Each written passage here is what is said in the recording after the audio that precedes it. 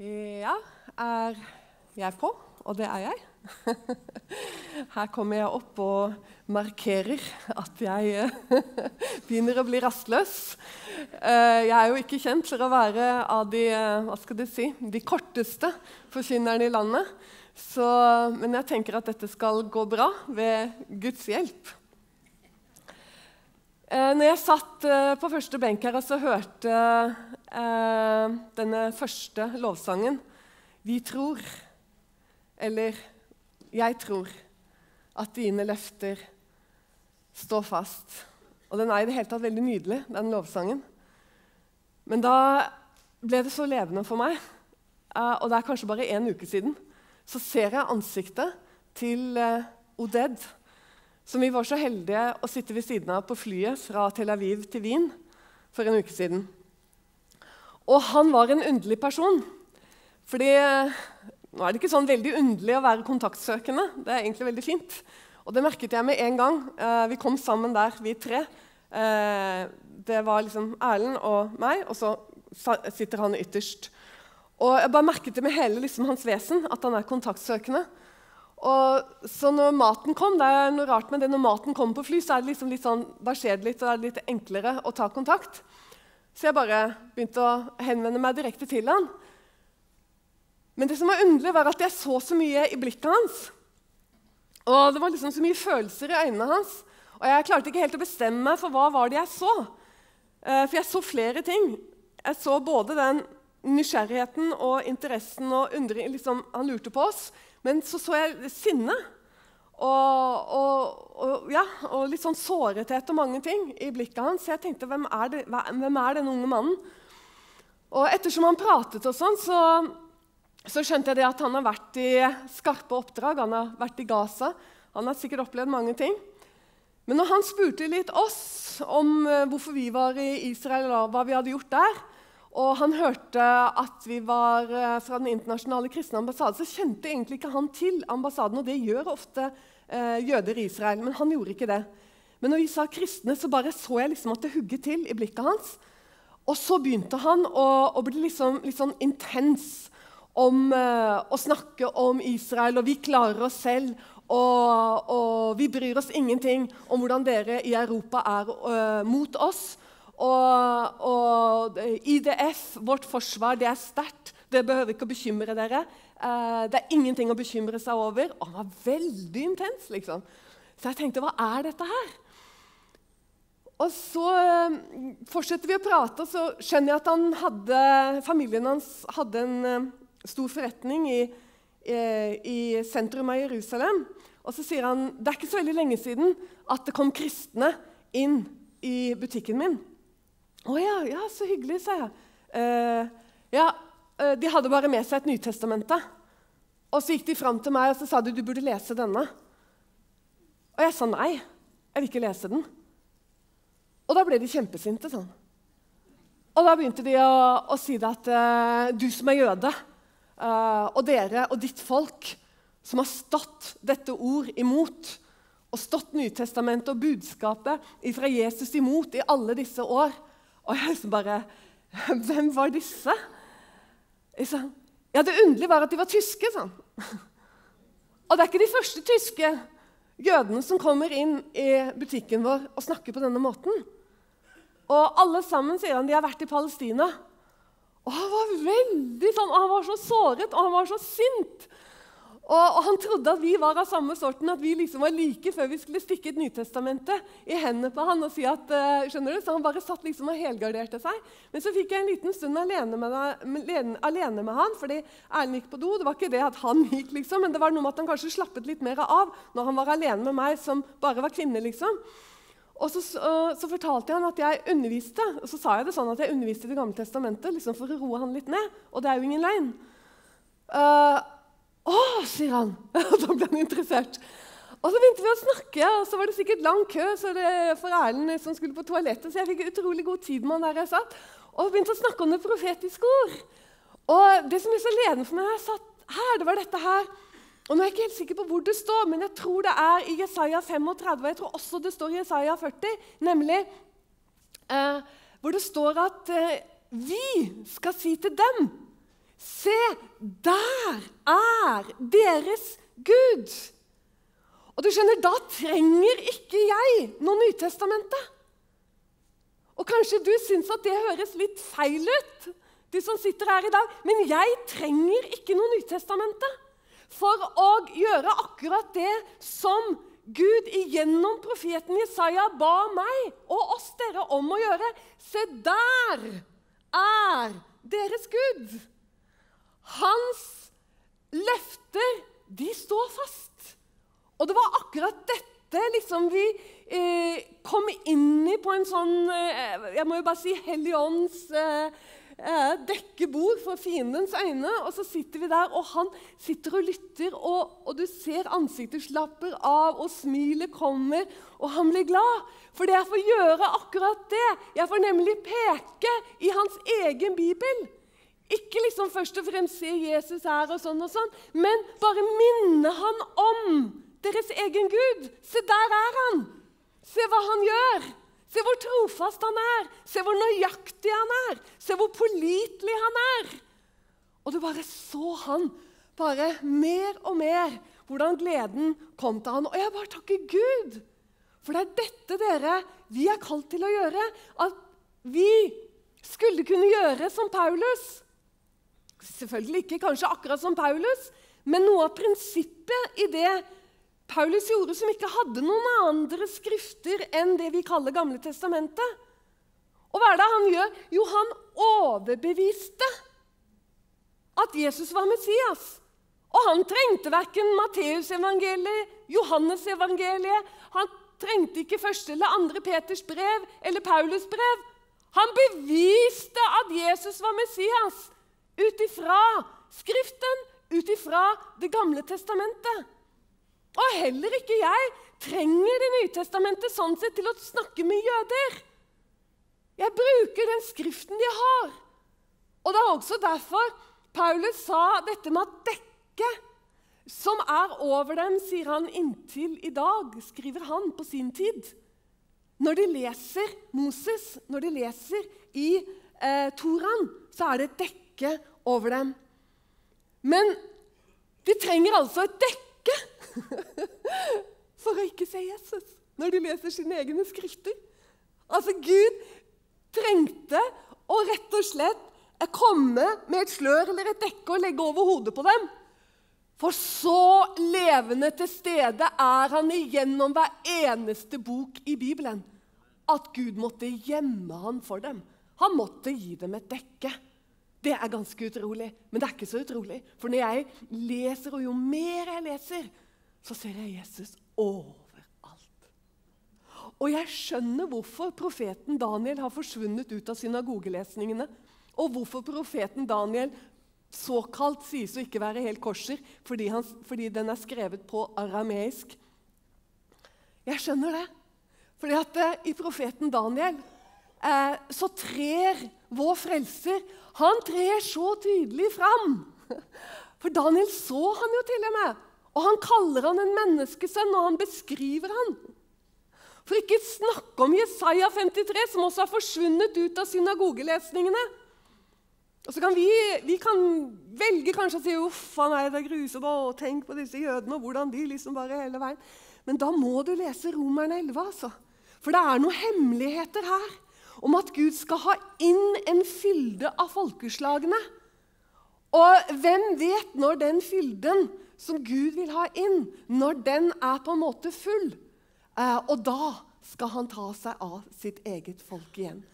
Eh, nå skal jeg ikke tale mye om det, men jeg hadde bare lyst til å ta dette som en innledning, og da skjønner dere hvor lang tid jeg faktisk har tenkt å ta her. Jeg blir nervøs, jeg blir stresset eh, når jeg får dårlig tid, og det har jeg nå, så nå må dere bare henge på i svingene her. Vi går til Lukas evangelium, og jeg har bare lyst til å begynne i det første kapittelet. Og der står det eh, på denne måten Ettersom mange har tatt seg fore å sette opp en fortelling om de ting som er fullbyrdet iblant oss. Så de som først da var øyenvitner og ble ordets tjenere, hvordan de har overgitt det til oss. Men så har også jeg foresatt meg etter at jeg nøye har gransket alt sammen fra først av, og nedskrive det i sammenheng for deg, gjeveste Theofilius, for at du kan lære å kjenne hvor pålitelig de lærdommer er som du er blitt opplært i. Det var første kapittel av Lukas' innledning der. Men hør nå hvor han begynner i andre kapittel, og det har du hørt mange ganger før. Og spesielt så hører du det på slutten av desember måned. Og det skjedde i de dager at det utgikk et bud fra keiser Augustus at all verden skulle innskrives i manntall. Dette var den første innskrivning i den tid Kvirinius var landshøvding i Syria. Det var det andre kapittel. Så har du det tredje kapittel. I det femtende år av keiser Tiberius' regjering, mens Ponti Pilatus var landshøvding i Judea, og Herodes fjæringsfyrste i Galilea, og hans bror Philip fjæringsfyrste i det tureiske og trakonittiske land, og Lysanius fjæringsfyrste i Abilene mens Annas og Kaifas var ypperste prester. Da kom Guds ord til Johannes, Sakarias sønn, i ørkenen. Hvor i alle dager vil jeg med en slik innledning? Jeg tror kanskje neppe du har fått en sånn innledning før noen gang. skal jeg være helt ærlig. Det er vel kanskje heller de versene som du fort liksom bare hopper over, og så begynner du på nummer tre. eller noe sånt. Nå. Men det som er så fint med det, det er nemlig denne her, eh, denne tanken som Lukas har eh, om både det at han, at han, forholder seg til Når han snakker til Theofilius, så snakker han til en jødisk ung mann. Og Det som er Lukas, det som ligger på Lukas sitt hjerte, det er når han skal formidle evangeliet om Jesus, så er det at Theofilius skal skjønne hvor pålitelig hans egne skrifter er. Altså hvor pålitelig Gamle testamentet er. Derfor er det at Lukas skriver sitt evangelium for at han skal skjønne, og også vi, hvor pålitelig det er. Og da er han også selv særdeles pålitelig og særdeles gammeltestamentlig i måten å skrive på. For denne måten å ta med konger og tider og fjæringsfyrster og det som er, det er veldig gammeltestamentlig. Det er veldig sånn historisk, det nøyaktige. Det var i det 15. år av den og den kongens regjeringstid. Og dette er viktige ting. Og For noen år siden så spurte min søster, som ikke er troende Vi var i en eller annen samtale. Eh, og sikkert eh, noe hvor hun på en eller annen måte kanskje ble litt irritert. jeg vet ikke, Men ut ifra det hun sa, så tror jeg kanskje hun ble det. For hun sa sånn Eva, du tror vel ikke Guds ord bokstavelig? Og akkurat da så så gjorde jeg egentlig klokt i at jeg ikke svarte henne. Fordi eh, jeg visste ikke akkurat åssen jeg skulle svare. Så er det kanskje noen her som tenker at ja, men da skulle du bare si at ja, men det gjør du. Selvfølgelig tror vi bokstavelig. Nei, det er ikke så selvfølgelig. Fordi at eh, det er nok av steder i Skriften som ikke forventer at du skal tro det bokstavelig. Eh, for bare ta ett eksempel som er kjent for oss, og som har vært framme allerede. Nå sitter du sikkert og tenker på mange selv, men la oss for eksempel av mange steder i Bibelen ta ett sted som ikke skal forstås bokstavelig. Johannes' åpenbaring 12. Når, når, når, Johannes viser oss sant, dette bildet med kvinnen og de tolv stjerner og månen og solen og, og, og dragen eh, Det er ikke ment bokstavelig. det er ikke ment bokstavelig. Er vi alle enige i det? Er vi da alle enige at vi kan ikke, at vi kan ikke si at vi tror Skriften som sådan bokstavelig? Men det vi gjør, det er at der Bibelen krever, eller for å si det sånn Der teksten forventer å bli tatt bokstavelig, der forstår vi den helt bokstavelig. Og jeg er veldig opptatt av det. Fordi at eh, jeg underviser mye om det profetiske ord. Og det profetiske ord, når det ikke taler i bilder Forstå meg rett. Når det profetiske ord ikke taler billedlig, så forventer det å bli forstått helt bokstavelig. Og årsaken til det, det er selve essensen av hva det profetiske ords oppgave er. Og nå skal jeg si noe jeg har sagt 100 ganger før. Men det er så bra at du kan nesten ikke si det for mange ganger, og det kommer fra Jesus sin egen munn. Nå sier jeg dere det før det skjer, for at dere skal tro når det skjer. Så hele, hele hensikten med det profetiske ord er dette at vi skal tro. Og noen steder så står det ikke bare at du skal tro. Hvis du leser fra Jesaja 40. kapittel til 50. kapittel, de ti kapitlene der, så er det ti kapitler som på en måte nesten overdriver dette viktige poenget. At profetordet er gitt deg både for at du skal tro, men mer enn det.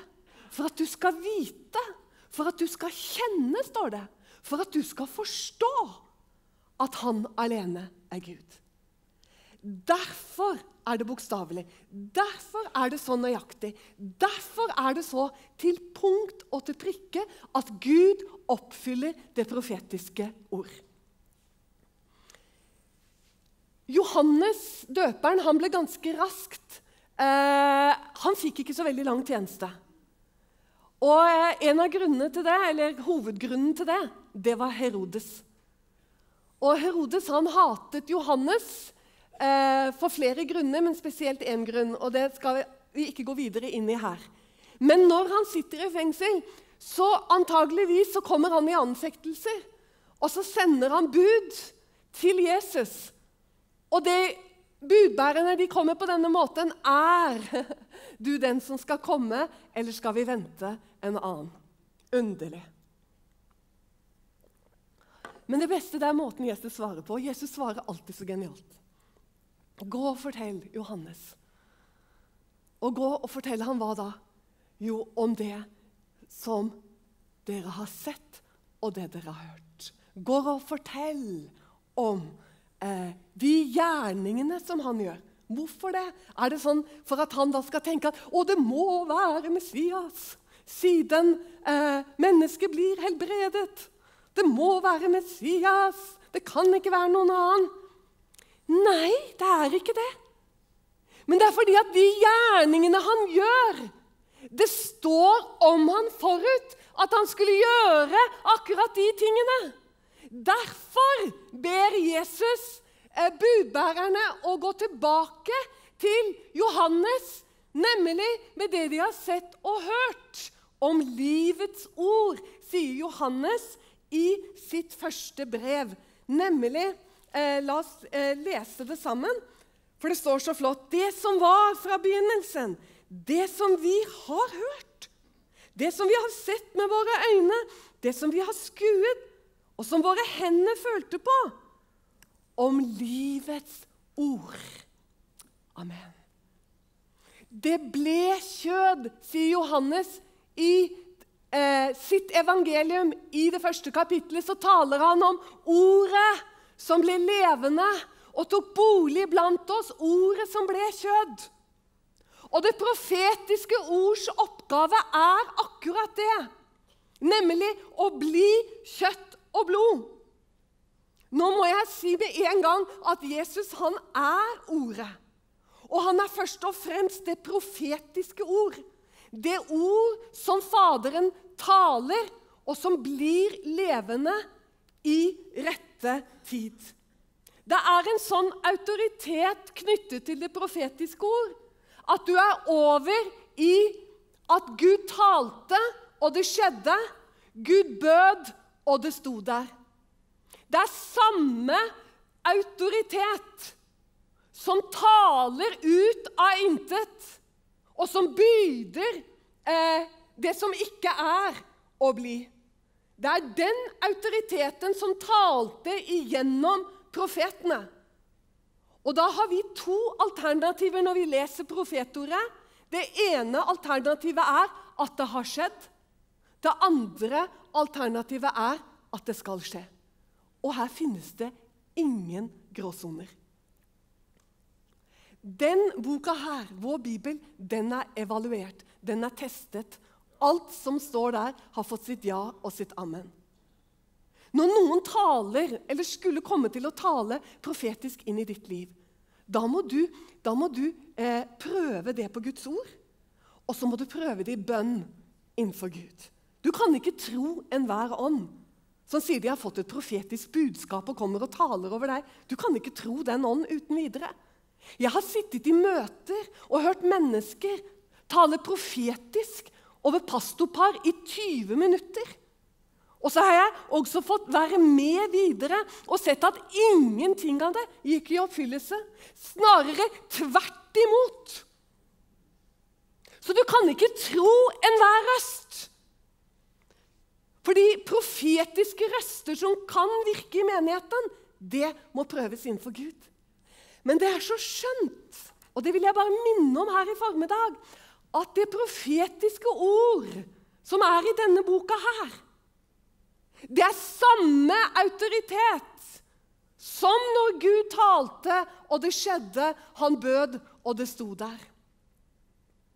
Og dette har du så mange fantastiske eksempler på i Bibelen. Og jeg skal ta deg med til noen, eh, syns jeg, da, av de beste eh, eksemplene. Og de finner du eh, i Jesaja.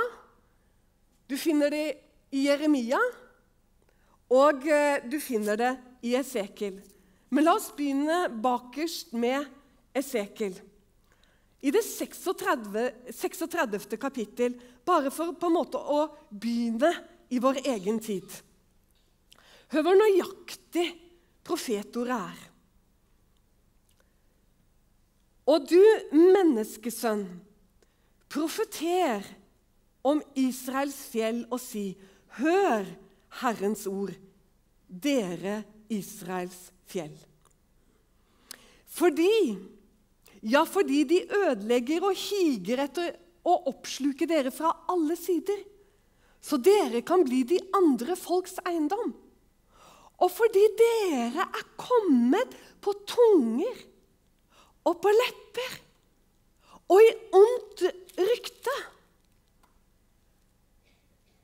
og i spott for de andre folk som bor rundt omkring.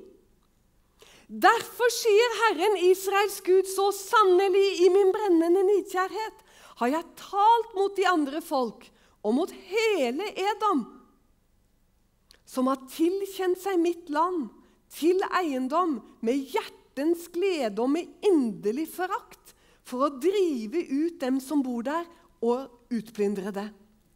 Jeg hopper litt til. Fordi dere har båret folkenes hån. Sannelig, de folk som bor rundt omkring, de skal selv lide hånd. For se, jeg kommer til dere, og jeg vil vende meg til dere. Og dere skal bli dyrket og tilsådd. Og jeg vil føre mange mennesker opp på dere, hele Israels hus. Og i byene skal det at det bor folk, og ruinene skal bygges opp igjen. Og hør og jeg vil ikke mere la deg høre folkenes hån. Og folkeslagenes spott skal du ikke mere bære. Og dine egne folk skal du ikke mere føre til fall, sier Herren, Israels Gud. Dette er den myndighet som det profetiske ord taler. Så sier Herren og du behøver ikke å tvile et øyeblikk på at så skal skje. Når det står i din bibel 'Jeg vil', da må du spisse ørene. For da kommer det profetisk ord. Det er de beste passasjene for meg når jeg leser i Bibelen. Det er når jeg kommer til disse 'jeg vil' eller 'jeg skal'. For da vet jeg at da har jeg med å gjøre det som er så bunnsolid. Det som enten har blitt kjøtt og blod, eller som skal bli kjøtt og blod. La oss ta, Dette lever vi midt oppi. Men la oss hoppe litt tilbake til deg som ennå ikke eh, har hørt meg eh, stoppe ved Jesaja, ved kroneksempelet, synes jeg, i Bibelen, i Jesaja 45. Og jeg leser. Så sier Herren til sin salvede, til Kyros, som jeg holder i hans høyre hånd, for å kaste hedningefolk ned for ham og løse beltet fra kongens lender, for å åpne dører for ham, og for at ingen porter skal holde stengt. Jeg vil gå fram foran deg, og bakker vil jeg jevne, dører av kobber vil jeg sprenge, bommer av jern vil jeg sønderhugge. Og jeg vil gi deg skatter som er skjult i mørket, rikdommer som er gjemt på lønnlige steder, så du kan vite Hør du? Så du kan vite at jeg er Herren, som kalte deg ved navn, Israels Gud. For Jakob, min tjener, og for Israel, min utvalgte skyld, kalte jeg deg ved navn. Ga jeg deg hedersnavn, enda du ikke kjente meg. Jeg er Herren, og det er ingen annen. Foruten meg er det ingen Gud. Jeg omgjorde deg enda du ikke kjente meg. Og hvorfor gjorde han dette, da? For at de både i øst og i vest, og det kunne stått i syd og i nord, skal vite at det er ingen foruten meg. Jeg er Herren, og det er ingen annen. Wow! Det er så bra! Og da spør jeg deg når levde kong Kyros? Når levde kong Kyros? Kong Kyros levde på 500-tallet før Kristus. Og så spør jeg deg, og det er kanskje lettere når levde kong Jesaja? Er det ikke noen som bare har lyst til å rope det ut i ren fryd? 750-700, sånn cirka. Er det ikke nydelig? Hva er det Gud gjør her? Han kaller en mann ved navn. Ja, det står han ga ham hedersnavn, enda han ikke kjente ham. 200 år før han ble født, så taler Gud igjennom profeten Jesaja om kong Kyros og hva kong Kyros skal gjøre. Wow! Noe så nydelig! Ja, Men kong Kyros, er ikke han en sånn konge fra eventyrene, da? Han levde. Kong Kyros, du kan slå opp i hvilket som helst leksikon. Du kan google han, du kan gjøre hva du vil med han, holdt jeg på å si. Altså, Du kan dra på museum, du kan snakke med arkeologer, du kan snakke med professor i historie. Alle vet at kong Kyros har levd. Og alle vet når han levde. Vi vet at han levde på 500-tallet. Og det er heller ikke noe spørsmål når levde profeten Jesaja. Det er liksom ikke sånn at der er teologene fryktelig uenige. Men nå skal jeg fortelle deg noe underlig. At I 1879 så var det noen arkeologer som jobbet i de babylonske ruiner. Og etter at de hadde holdt på der en stund, og de var sponset fra England, disse arkeologene, så drar de ut av leiren. Wow! en leirtavle med masse skrift. Og den må tydes. Og når de tyder den, så blir det enda mer wow. For hvem har skrevet den, tror du? Kong Kyros har skrevet den. Og den drar de ut av ruinen i 1879. Altså, det skulle bli noe sånt noe som 2500 år nesten etter at uh, den, de, den, tavlen der ramla til jorden, litt i underkant av det uh, Det drar de ut av jorda. Og der står det sånn til innledning, en masse sånn som de gjerne begynte, disse store kongene. Jeg, ikke sant, kongenes konge og verdens hersker, og masse sånn innledning på den måten. Men så kommer det eh, Meg kalte himmelens og jordens skaper. Han kalte meg, kong Kyros, ved navn. Og han ba meg om hva? Om å gå til Babylon og sette folkene fri. Og ikke nok med det, det står med på denne tavlen. Det står også det at jeg, kong Kyros og alle mine menn, vi gikk inn i Babylon igjennom åpne dører. Vi løftet ikke et våpen. Og han sier hvorfor. Fordi skaperguden, sier han. Han kaller han Marduk. Fordi at det er babylonernes skapergud, og det er de han taler til. Fordi han som har skapt himmel og jord, han hadde beredt meg veien. Om ikke du hopper på stolen din nå, så vet jeg ikke når du skal gjøre det. Men nå skal jeg si deg hva disse underlige teologene For du skjønner, det finnes noen teologer ja, Jeg vet ikke helt hvorfor de studerer teologi, det er det første spørsmålet, men det er jo deres sak og ikke min sak å finne ut av. Men det underlige er altså at de klarer å gjøre noe som er sånt et Hva er det det heter, disse sprangene man kan ta? der sånne sånn her spesielle sprang. Hæ? Ja, kvantesprang! Dette er det største av de største, men det ender i elendighet. Fordi at Det nyttet ikke å diskutere når Jesaja levde. altså Istedenfor å juble, så hadde de fått et problem. Eh, denne leirtavlen hadde gjort at det hele hadde blitt veldig tydelig for dem. for de hadde kanskje aldri lagt merke til det helt før. Og så plutselig skjønner de ja, men hjelpes. Ja, men hjelpes! I Jesaja 45 så, så nevner Jesaja kong Kyros med navn. Eh, ja, Men det går jo ikke, det, for han levde jo 200 år før Kyros levde, så det går jo ikke.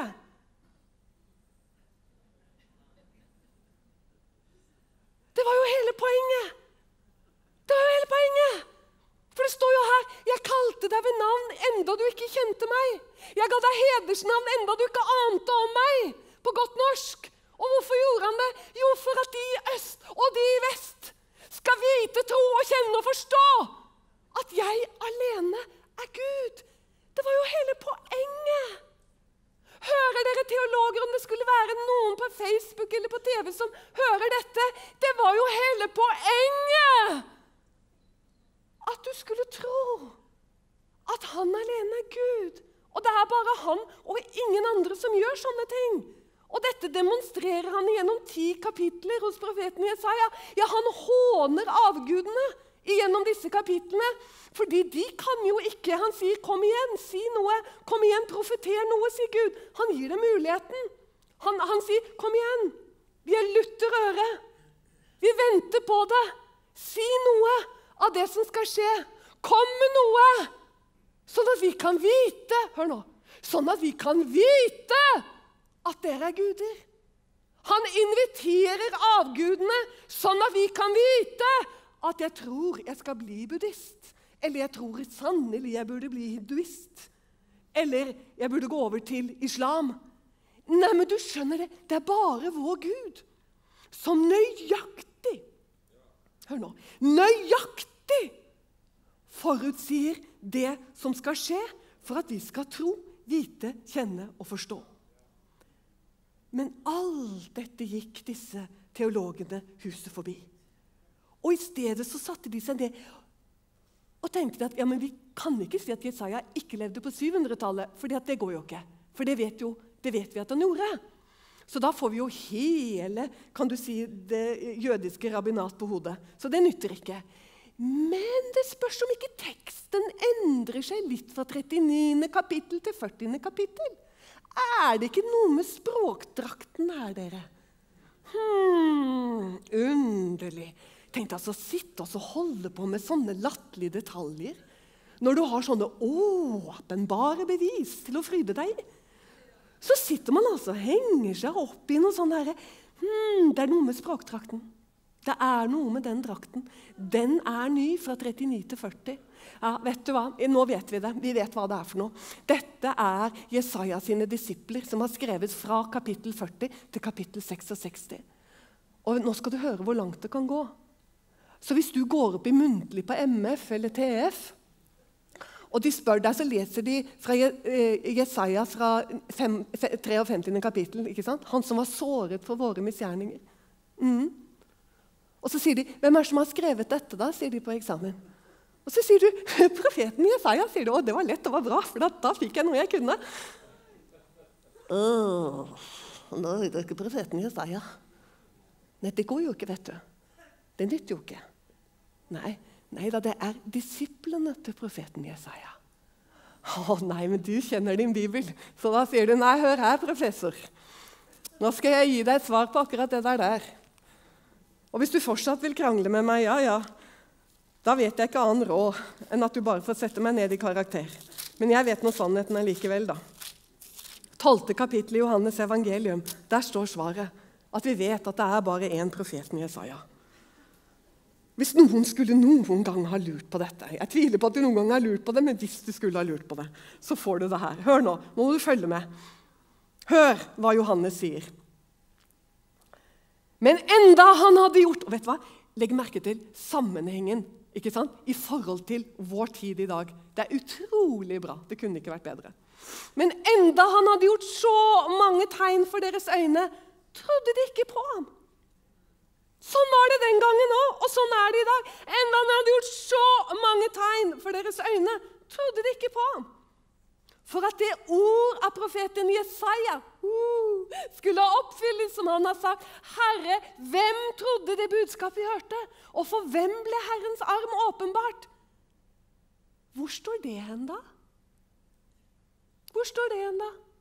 Det står i Jesaja 53. Vi tar det en gang til.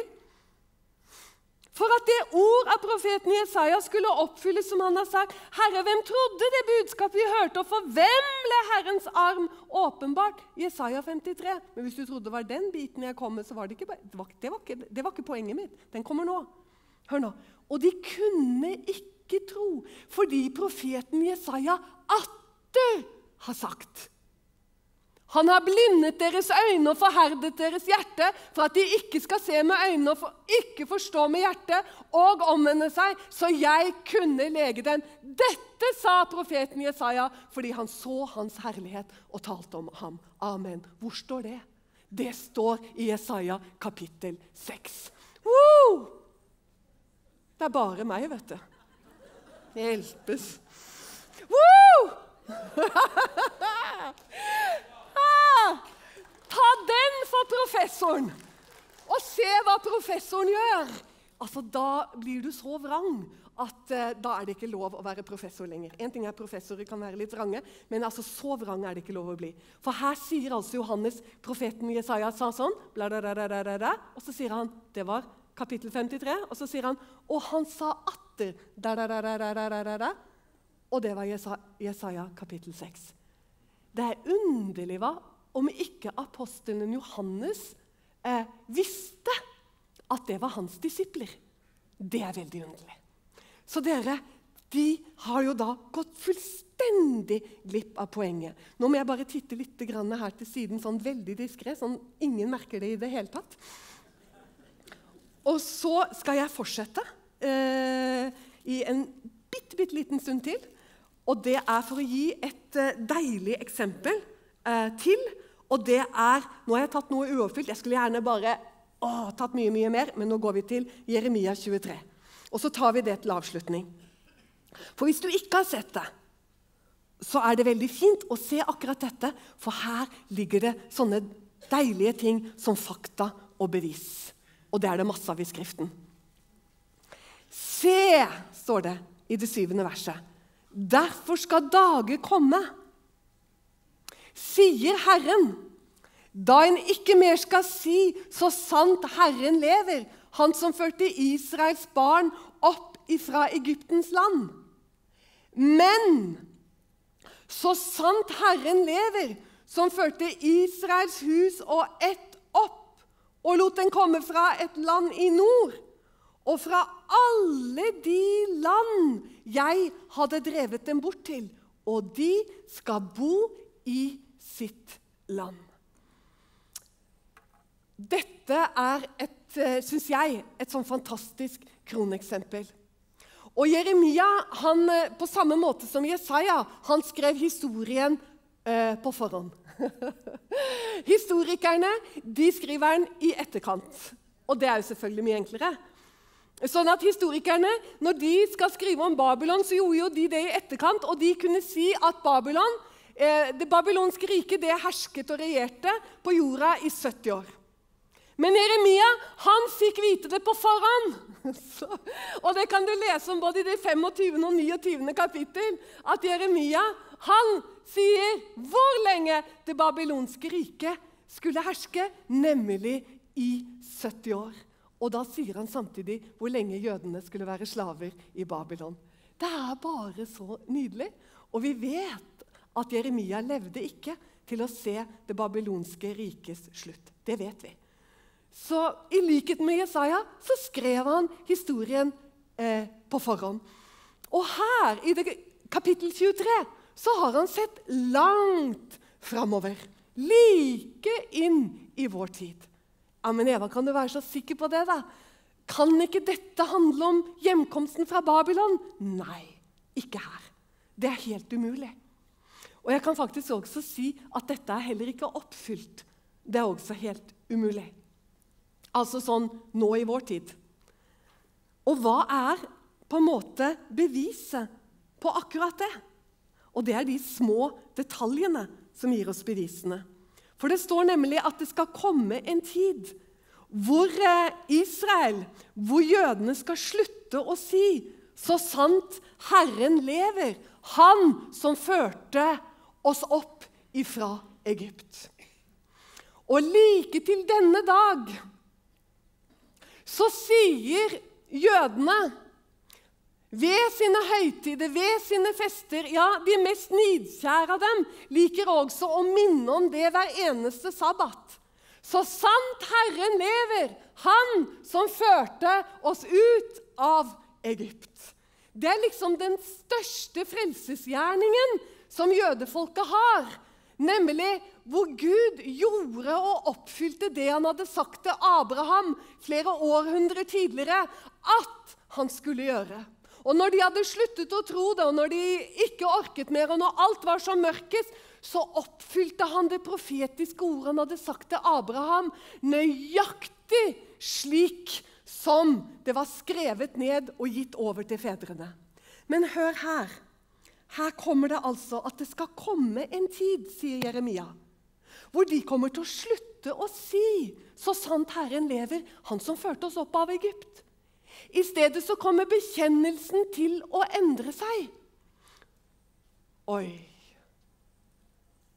Da må det skje et eksodus som er større enn Egypt. Det må komme noe som er større enn Egypt. Og det har ennå ikke kommet. Det var noen ivrige predikanter på 90-tallet som siterte Jeremia 23.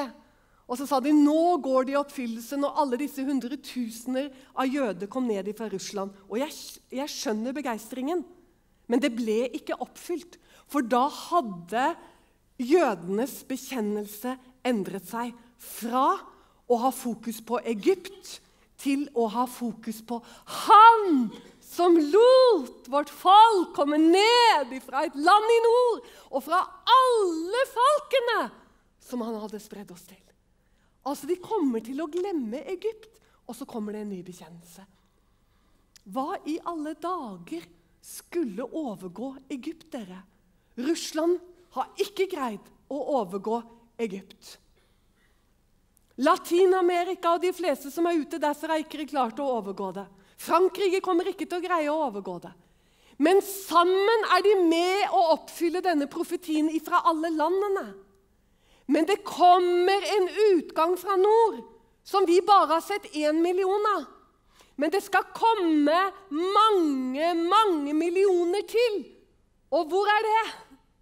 USA.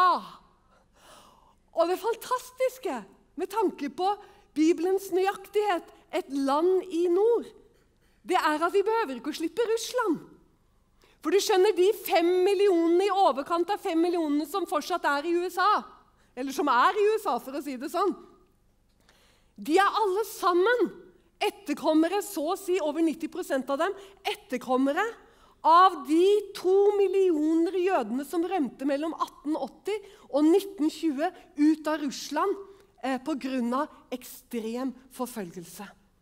Hører du? Mellom 1880 og 1920 så flykter det to millioner jøder ut av Russland. 90% av de reiser til USA. De er i dag eh, blitt til eh, fem millioner jøder. Og de har bare dratt innom USA, skjønner du? og bare multiplisert seg. Noe så veldig. Sånn at de, deres oppgave det er nemlig å overgå eh, Egypt. Så den utgangen som kommer fra USA Jeg bare håper at jeg får være med. om jeg er eh, ovenover der, eller om jeg har kommet ned, eller om jeg bare er her. Jeg, jeg, jeg vet ikke. Jeg bare Å, Gud, jeg gleder meg. Jeg gleder meg noe så veldig. Woo! Sånn at eh, dere Om jeg fortalte eventyret her, så er det jo ikke så spennende. Da skjønner jeg at det er ikke noe vits i å hoppe på stolen heller. Men saken er jo at det er jo jeg som er mest normal her. Som liksom er full av bevegelse. Ja, amen! Fordi at så, Jeg har en litt merkelig kropp, men jeg er jo født i Bergen. ikke sant? Og det er sånn at når jeg blir glad, så skjer det noe med kroppen min. Jeg vet ikke åssen du har det. Det er så vanskelig å stå sånn og snakke om disse tingene. Skjønner du? Jeg skjønner ikke åssen de får det til. Det er liksom noe med at det, liksom, det bare går i hele kroppen. Og nå ser jeg at Finn Jarle han har reist seg, og det betyr noe. For det der, der vet jeg. At når, når, noen reiser seg sånn, så betyr det Og nå kommer han nå! nå er jeg skikkelig ille ute her. Så dere Å, Gud er god. Er det ikke bare så spennende? Gud er god. Å, all ære til Herren. Vi priser deg, og vi takker deg. Jeg vil bare si til slutt les, studer, ransak Kos deg med Skriftene. Prioriter. Slå av Facebooken. Dere hørte, dere hørte i går. ikke sant? Og her er jeg. Og det beste var når Malcolm sa Og her er jeg igjen! Legg vekk det tullskapen der sånn. Gå inn i dette her. Begynn å lese i Skriftene. Og kos deg. Gud velsigne dere alle sammen. Uh, og dere ser ikke mer meg på dette stevnet, var det ikke det signalet sa? Gud er god.